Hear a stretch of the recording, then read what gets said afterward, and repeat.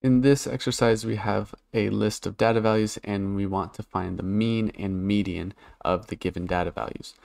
So we want to first copy the data values over into Excel. So we can just click and drag to copy and then control C, go over to Excel, control V. Now we have all the data values copied.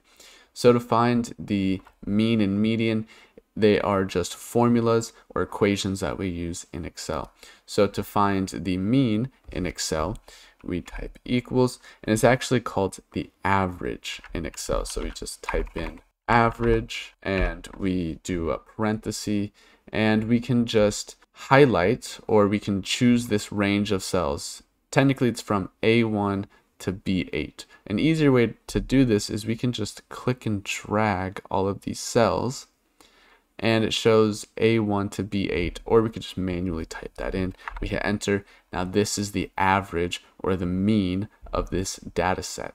Now to find the median, we also use a equation in Excel. So this equation we type equals, and you can probably guess what it is if you just start typing median. We see that the median equation pops up here and it's the same thing as the average equation.